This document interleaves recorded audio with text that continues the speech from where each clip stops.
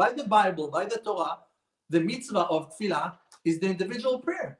It's not the Shemona Esrei. The Shemona Esrei is the Rabbanan, is the obligation that our sages, because they saw that the generations are suffering and they might forget how to pray from the heart, they established for us the three prayers a day, Shacharit, Mincha, Arvit, and there are great discussions about it in the Gemara, explaining to the people exactly how you cannot enjoy the world without praying first.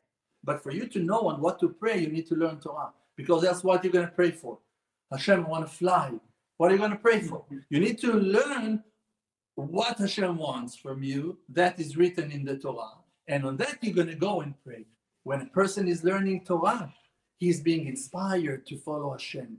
He's reading many sections of the Torah and they're supporting his being and his path in so many ways. It can be Hasidut, but it can also be Halacha, and it also can be Musar, and it can be whatever gives you taste and reason to keep on learning. The person must learn in a place that is his heart filled desire